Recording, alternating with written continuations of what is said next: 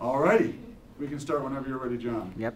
Okay, um, today we're going to look at a demo with um, some things that indicate how acidic or how basic a solution is. Uh, we have universal indicator, which we'll use, and I'll put a little bit of that in this cylinder here. And uh, we're actually going to move this one off to the side for a second. The other cylinder, we're going to use a nice natural indicator. You guys have seen red cabbage before, haven't you, in the grocery store? Yeah. Turns out if I can extract the, uh, the coloring from red cabbage juice, which is really purple, um, I can use that as an indicator. So what I did is I just stuck some cabbage leaves in a beaker, added distilled water, and boiled it for a little while. And I ended up extracting that pigment. So we'll go ahead and we'll pour some of that juice into this cylinder. Hopefully we'll leave the leaves behind. We might have a floaty or two in there. And to this one, I want to, we do. And to this one, we're going to add some distilled water. Now, I can determine how acidic or basic a solution is based upon the color.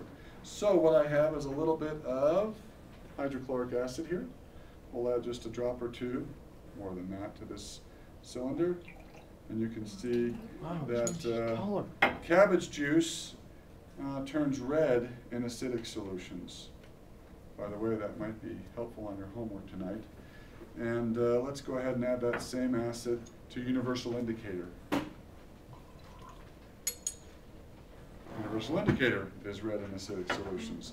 Let's see what happens if we add sodium hydroxide. Sodium hydroxide, a base. It's like we get a uh, purple color, maybe? Purple Let's add a little bit more. I think it actually goes to a teal color if we add enough.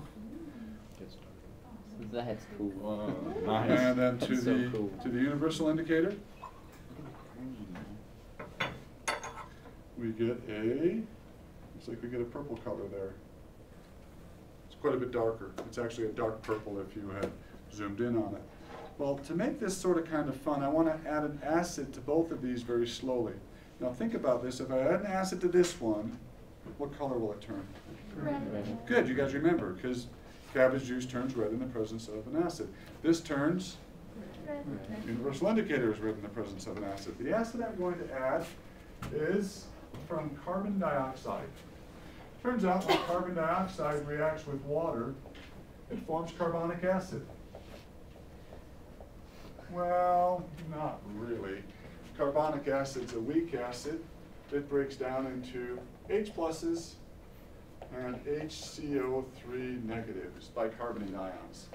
Hey, anything that loses a proton, right, or donates a proton, in this case it's lost a proton, this is technically H3O plus, that thing is called an, an acid, right? So let's go ahead and add some carbon dioxide and see what happens, and I will add it in the form of dry ice. So we'll add a chunk of dry ice to this one. It also mixes it up nicely for us, doesn't it?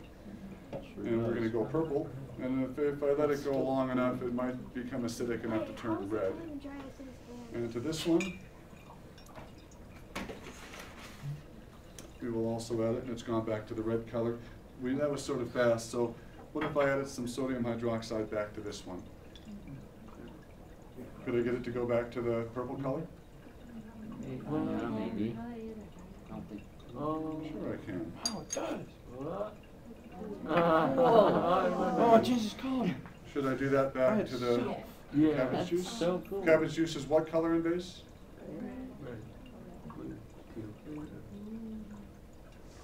So we get that tealish color.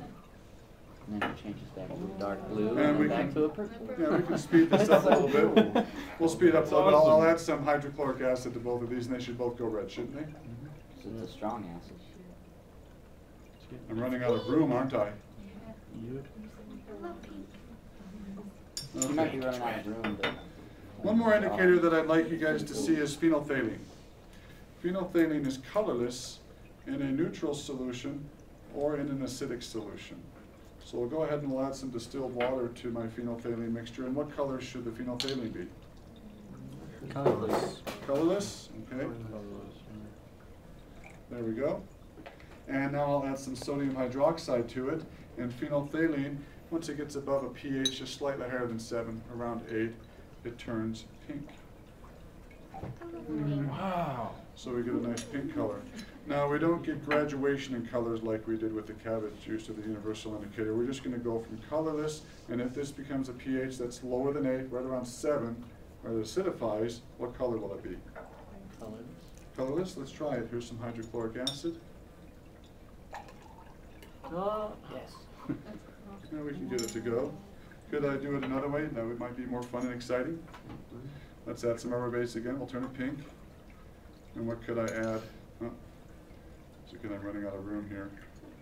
What can I add that can also acidify this? Shall we dry ice again? yeah, do it. Hopefully it won't bubble over. I think it's just for a long period. Wow. Wow. Okay. Anyway, indicators are things that change color according to pH. Turns out, once again, that cabbage juice will turn red when acidic. Universal indicator is red when acidic. When cabbage juice is basic, it turns what?